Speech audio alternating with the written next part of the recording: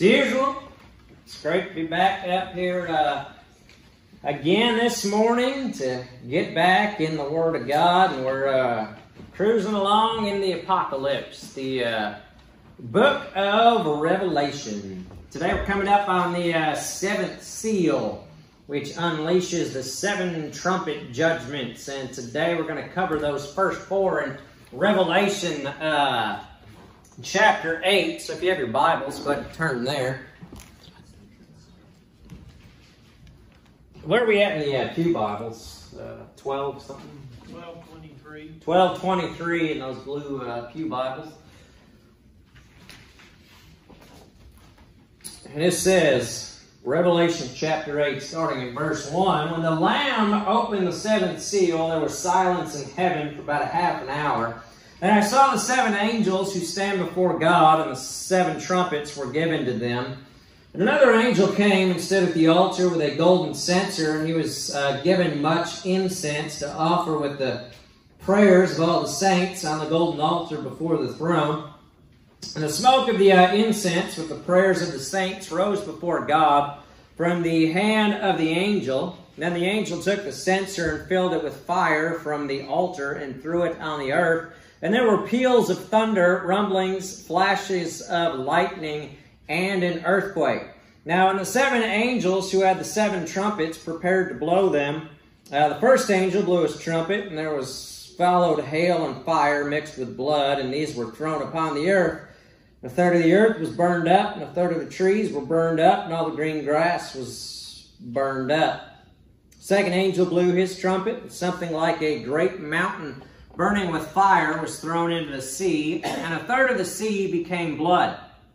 A third of the living creatures in the sea died, and a third of the ships were destroyed. The third angel blew his trumpet, and a great star fell from heaven, blazing like a torch, and it fell on a third of the rivers and on the springs of water. The name of the star is Wormwood.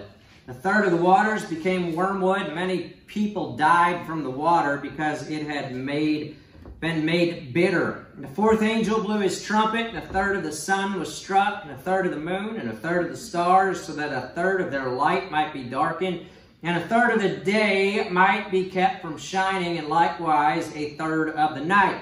Now I looked, and I heard an eagle crying with a loud voice as it flew directly overhead. Woe, woe, woe to those who dwell on the earth at the blasts of the other trumpets that the three angels are about to blow. Let's bow for a word of prayer.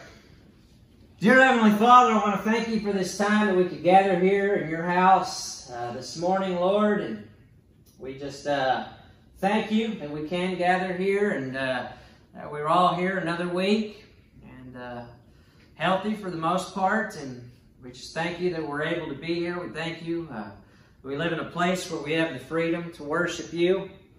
And we just want to lift up all those folks on our prayer request list this morning, Lord, that you be with them and their families, and those that are uh, sick, and those that have lost uh, loved ones, that you be with them.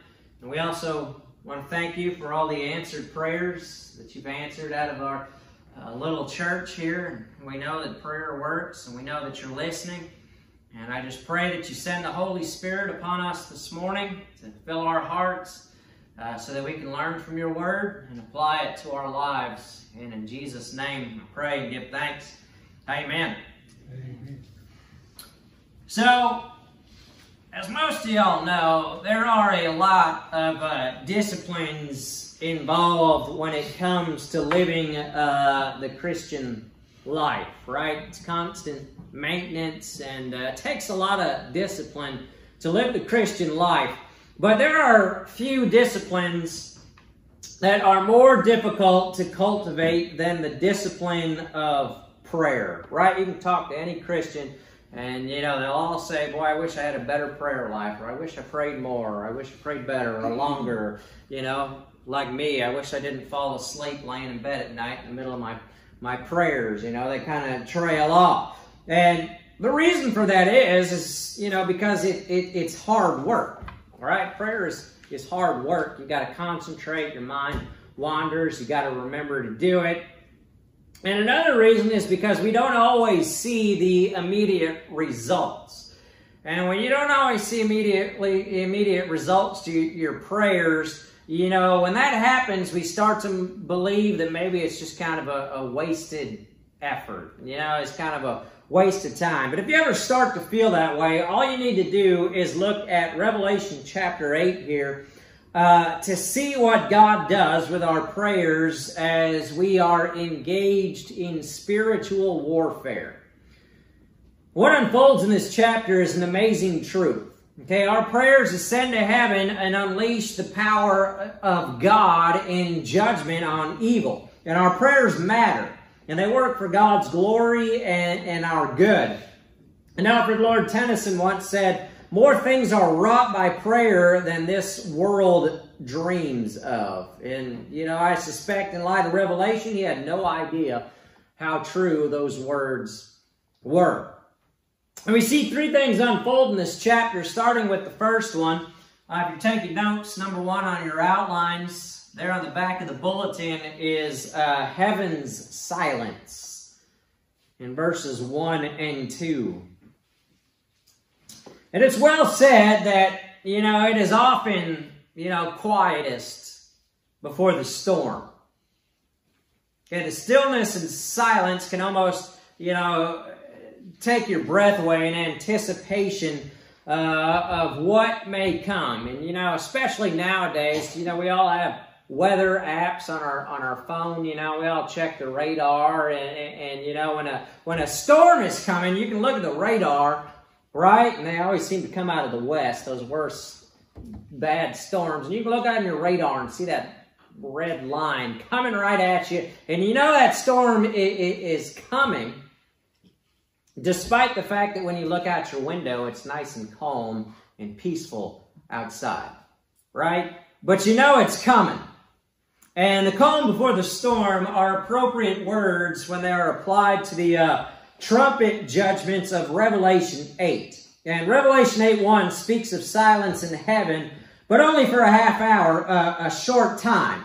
So judgment, almost too great to imagine, will quickly follow. And when it's finished, uh, a third of God's glorious creation will be gone, destroyed by the God who created it.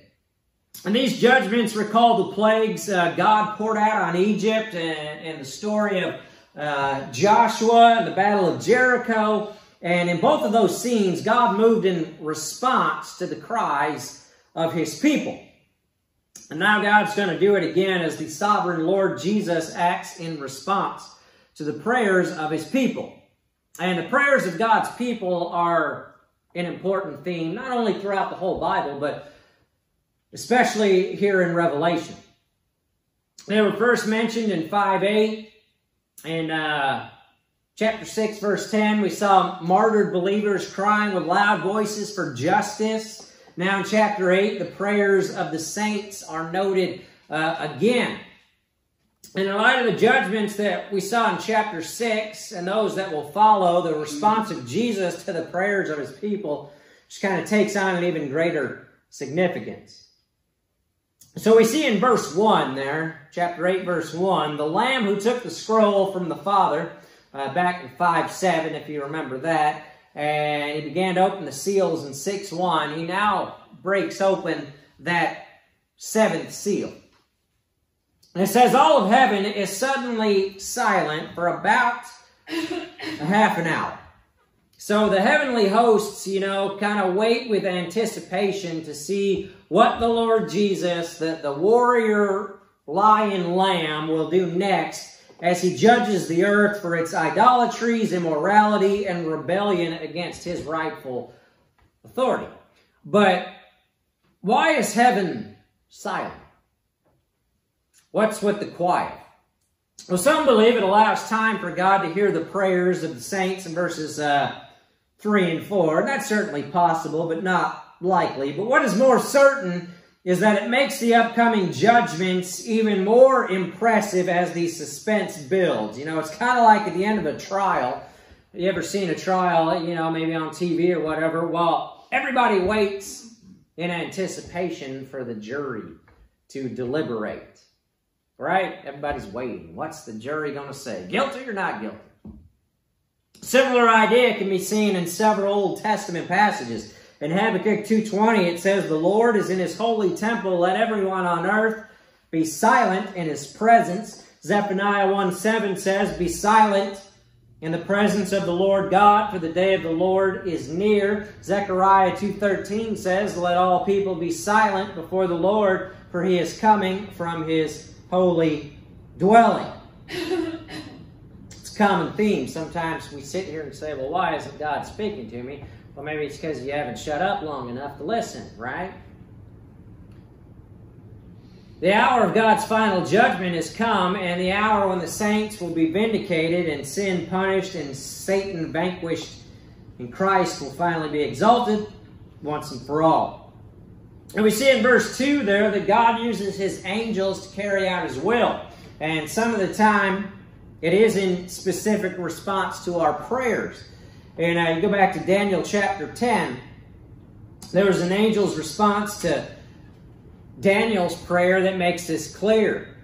It says there in verses 12 and 13, Then he said to me, Fear not, Daniel, for from the first day that you set your heart to understand and humbled yourself before your God, your words have been heard, and I have come because of your words. The prince of the kingdom of Persia withstood me 21 days, but Michael, one of the chief princes, came to help me, for I was left there with the kings of Persia. So angels and, and demons are engaged in, you know, warfare in the spiritual realm, you know, that, that in a manner we could never truly uh, imagine. And I've said it before, and I'm sure I'll say it many more times, that if we could actually see what was going on behind the scenes in the spiritual realm with, you know, angels and demons, you know, we'd probably pee our pants. It'd probably be a, a terrifying thing you know, to see. Just all that going on. So maybe it's better if we don't, you know, see it. But in Revelation 8 2, our sovereign Lord gives seven trumpets to the seven angels who stand before God. Now, according to Numbers 10, you know, trumpets called the people together, announced war, and proclaimed special times and events. And uh, Exodus 19, they were sounded at Mount Sinai when the law uh, was given, in Joshua 6 when Jericho fell, and in 1 Kings 1 when the king was enthroned. And a trumpet is going to sound, and the trumpet that we're all waiting for uh, at the rapture in 1 Thessalonians 4. And when Christ returns, that we see in Matthew 24.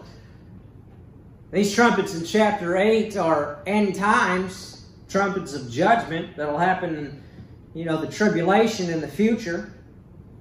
And Christ, with all authority in heaven and on earth, summons his angels to carry out his will on earth, as well as the prayers of the saints. Okay, which brings me to my second point today, which is uh, number two, if you're taking notes, is saints' supplications. Got heaven's silence and saints' supplications. And Adrian Rogers once said, when there's no hope on the horizontal level, there is always hope on the vertical level, right? Sometimes we take that in reverse order. We try to do all this out here uh, on our own. And when that fails, then we pray, right? We should have prayed first.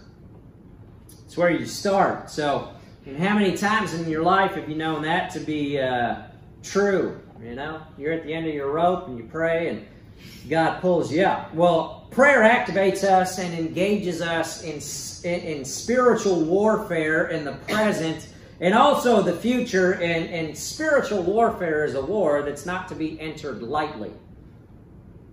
Ephesians 6.18 tells us that prayer is essential. As we engage in spiritual battle, and, and you know, must be constant, alert, and persevering. And we should offer these prayers and, and supplications not only for ourselves, but you know, for all of our brothers and sisters in Christ out there across the world.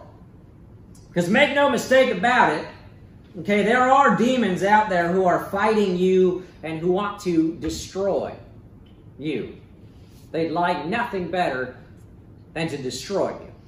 They'd like nothing better than to keep you discouraged and ineffective and keep you living a compromised life. But our prayers are effective. Our cries go up and, his, and his, his kingdom comes down.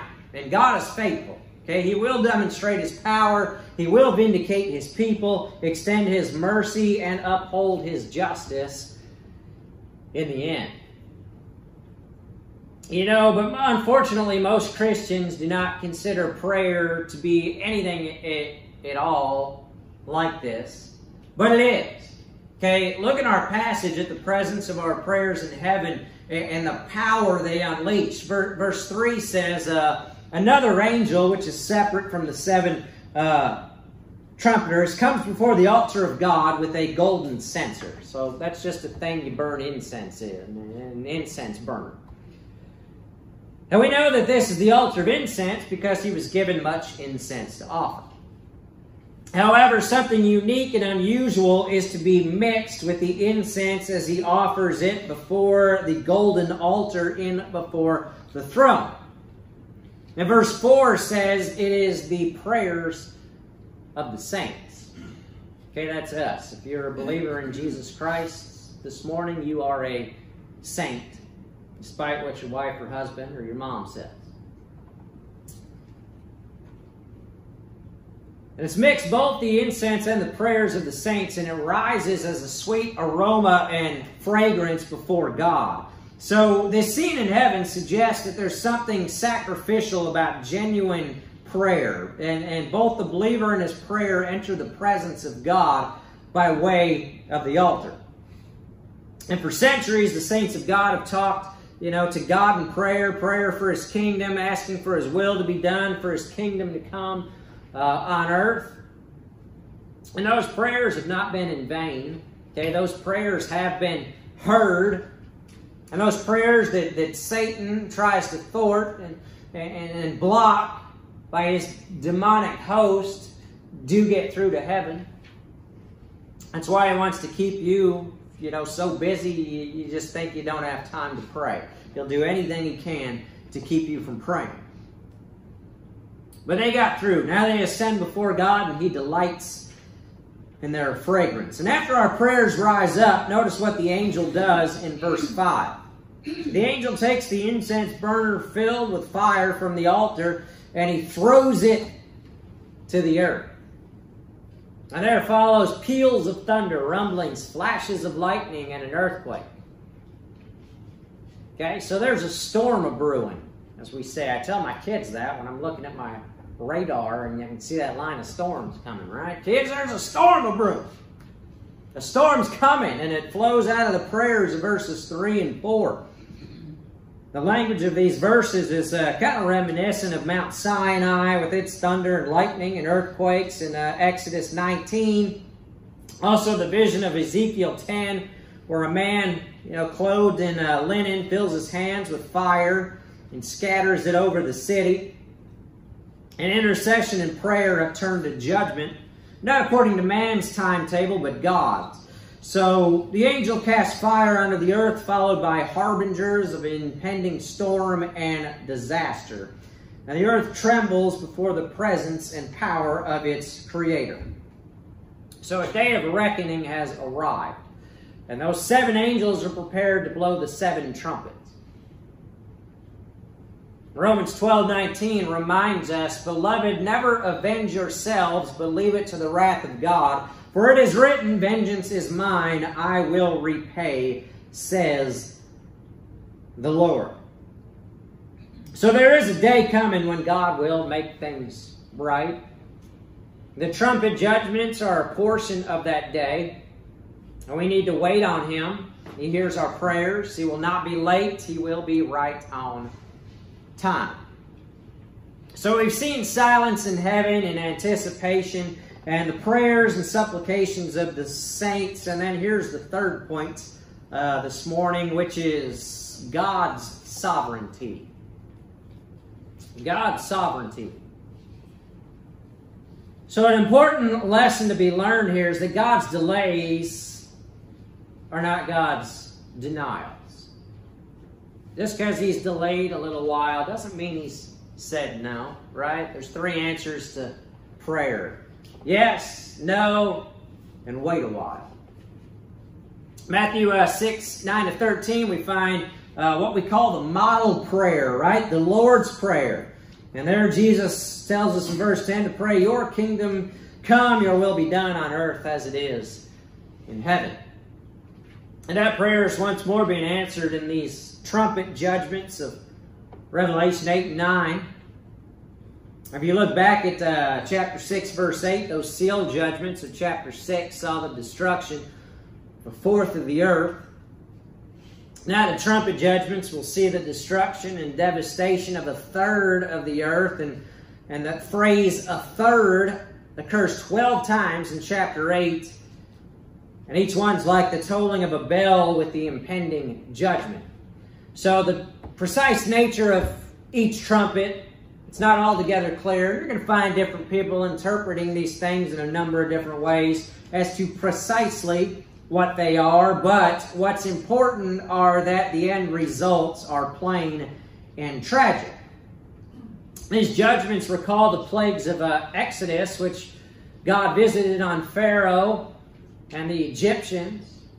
The first four trumpets of chapter 8 are natural in that they affect the land, the salt water, fresh water, and stellar bodies of stars in heaven and space, stars, uh, sun and moon. Then the fifth and sixth trumpets of chapter 9 unleash demonic forces that torment and then kill. So the seventh trumpet in chapter 11 is going to constitute the seven bowls of chapter 16.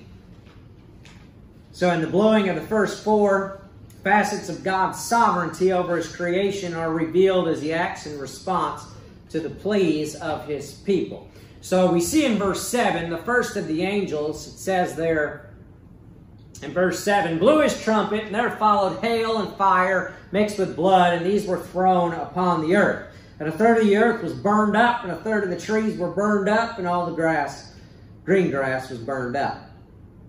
So again, that imagery is like the seventh plague that God brought on Egypt in Exodus 9. But the difference in this plague is that of intensity. Okay, burned up occurs three times in just one verse. So whatever it literally is, whether it's meteor activity or volcanic activity or unprecedented storms, like we've never seen before. Whatever this is, great devastation follows this cosmic storm that had its beginning in heaven. And then it's a third indicates that although God is bringing punishment on the earth, it's not yet complete and final.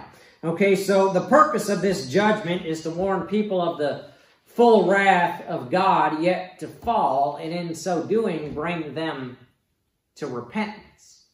Okay, that's what these are for. Tragically, however, most will not repent, as we'll see next week in chapter 9. Now, we do know from our past passages that there are, during the tribulation, when it comes, there will be millions upon people, you know, repenting and believing in Christ. Okay, it's going to be a revival upon the earth like you've never seen before. There will be millions, but that means billions won't. Okay, right now we're at 7.8 billion people on this planet. Okay, even if 100 million repent, you know, that's 7.7 It won't. These words fulfill what Jesus promised and prophesied in the uh, Olivet Discourse in Matthew 24 and Luke 21. Okay, patterns of this judgment have occurred throughout history. However, in the day of the Lord, that great tribulation, it reaches a fever pitch. Nothing's going to escape this terrible judgment. And whatever these images represent, the impact should, you know, just rattle our bones in awe of God. And next, we move into the second trumpet in uh, verses 8 to 9. Romans 8.22 says, For we know that the whole creation has been groaning together in the pains of childbirth until now. That verse reminds us that all creation has been groaning since uh, Adam and Eve were defeated by Satan back in the Garden of uh, Eden. And I can only imagine its pain during this time of horrific and cataclysmic judgment. However, in response to the prayers of the saints, these judgments are actually Satan's defeat and, and a prelude to creation's redemption. All right, so all those prayers we've all poured out for the last several thousand years. You know, God, why don't you do something about evil and bring your justice? Well, here it is.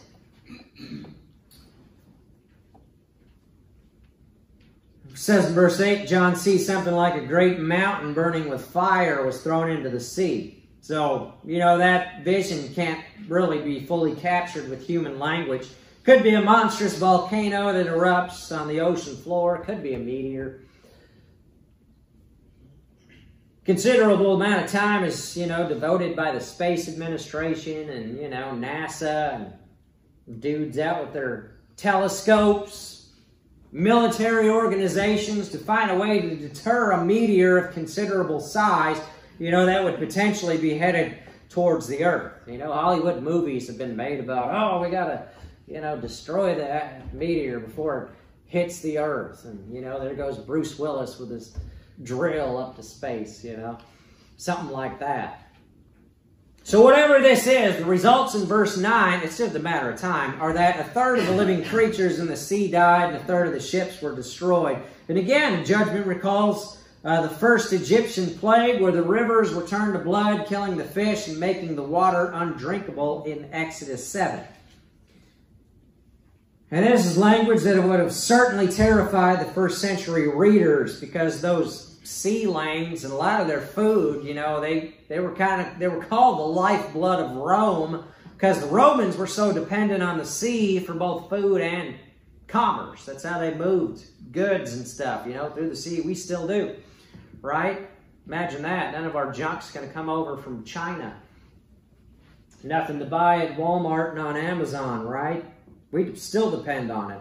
So it's difficult to imagine such an extensive, you know, judgment, but the judgment is partial, not total. Okay, so time is running out for the defiant and idolatrous earth dwellers, but it's not completely gone. Not yet.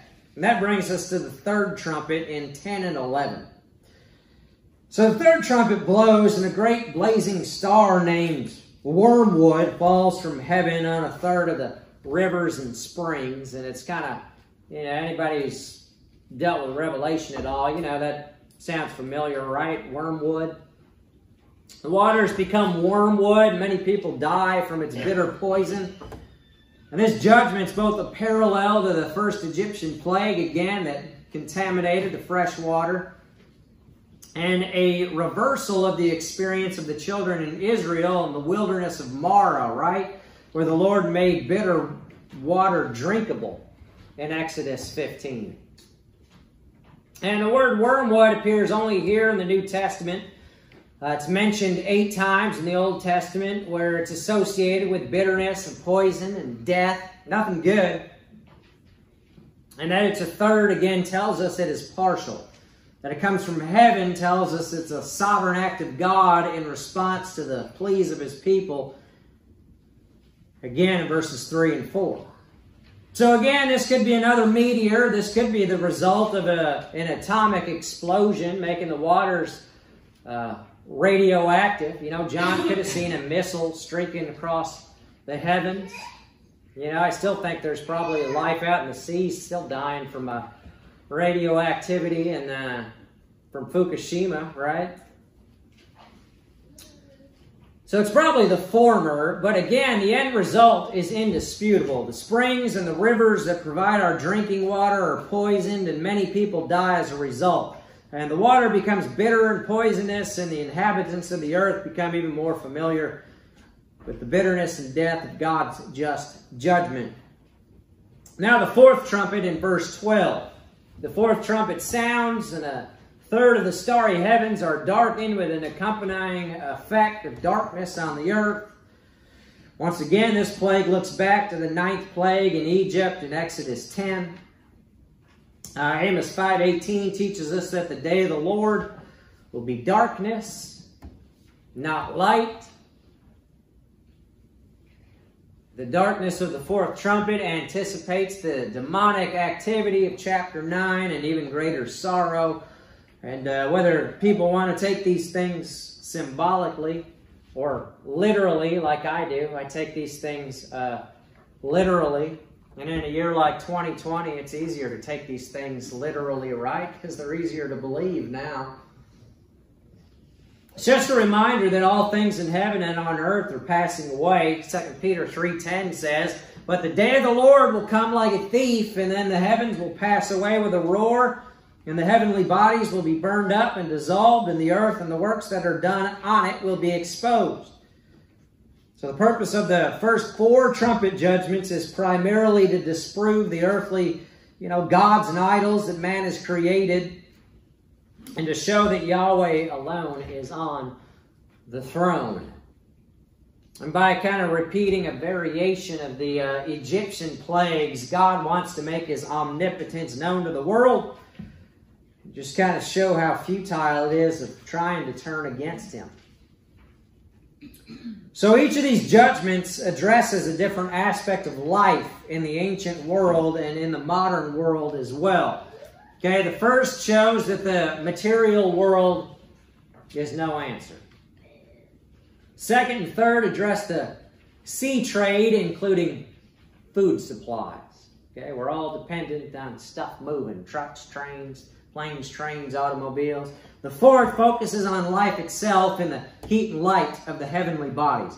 So those four together prove that those who live only for this world have chosen foolishly because for only in God is there true life. Okay? Earthly things are going to deteriorate. They're going to break down. Uh, they're going to turn on us. So we dare not depend on them. Then verse 13, And I looked and I heard an eagle crying with a loud voice as it flew directly overhead, Woe, woe, woe, to those who dwell on the earth at the blasts of the other trumpets that the three angels are about to blow. So it's just getting warmed up here. Which we'll get into those next week. So to wrap it up here, uh, a main takeaway for y'all living out here right now today, September uh, 27th, year 2020, is that all this started with prayer. Okay, prayer is an action of, you know, limited sinful human beings like us that in some amazing and mysterious way moves into action uh, a sovereign God. And even though I can't fully explain it, I do believe it. Okay, Charles Spurgeon said, prayer is a gift from God as well as appeal to God. Every prayer for mercy is not a cause, but a result. Divine grace is at the back of prayer and at the base of prayer. And that's true on the universal level, but also true on the personal level. Prayer is what moves God to judge the world and vindicate his saints. And prayer is also what moves God to save souls and bring them into his kingdom. Okay, so time is short. Folks, time is short. If anything, I know we're a day closer than we were yesterday, right? Well, we're starting to see this convergence of events out there. These signs, you know, used to all happen apart. Now they're just all happening, you know, together, all close together. You know, it's called the convergence of events. But you got to remember, you know, judgment's coming for everybody. Even if you're not here for the trumpet to sound and the in the rapture, you know, you only get so many years on this earth, and nobody's guaranteed anything, you know. I hate to say it, but something bad could happen on your ride home from church today. You know, somebody's texting or drop something on the phone when they're passing you, and they swerve over into the lane, and that's it. Your time's up. Okay, salvation is always just a prayer away. So Romans 10 13 says, For everyone who calls on the name of the Lord will be saved. Everyone means everyone or anyone. Good things to remember. Let's close in prayer. Dear Heavenly Father, I want to thank you for this time we could gather here once again in your house. Uh, Lord, and just want to thank you for this passage, which, if anything, is just a reminder that prayer works and that we all only have so much time on this earth. And there is coming a day when you're going to right all wrongs and wipe out uh, all evil. And what a day that will be. And Lord, I just uh, thank you that you are in control and that you do have a plan, even though we live in days where it doesn't seem like it. Uh, there's nothing that goes on that you haven't uh, allowed to happen or planned. And I pray that this passage this morning would motivate us to be prayer warriors uh, for Christ and your kingdom. I want to lift up all those on our list again uh, this morning. Also, thank you again for all your answered prayers. We just thank you for all that you do. And we thank you that you're coming again. And in Jesus' name I pray and give thanks. Amen. All right, so uh, here we are, and uh, your day has come, my friend, and uh, we're glad y'all have come and been a part of our church, I'm sure, and uh, and uh, maybe one day you'll find a job right around here. Right. I mean, a job something do. But, uh, it's good to have you. We're, uh, you know, Howard, and uh, so he's come forward to get baptized today, and you have accepted Jesus Christ as your Savior. Absolutely. Correct. Okay. And are you coming today uh, to make a public profession of faith? I am. Following the footsteps and commands of the Bible? Yes. All right. Absolutely. Go ahead. and Cross your arms. All right. How much do you weigh, by the way? All right. Less than he used to. Yeah, that's about two If I start kicking and fighting, I'm taking him down with me. Well, in the name of the Father, and the Son, and the Holy Spirit, I now baptize you and buried in the likeness of Christ's death and raised to walk in the newness of life.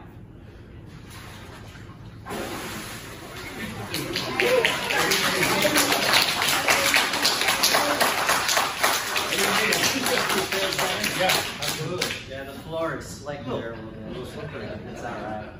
All right. All right, cool. All right. you feel better? Yeah. all right.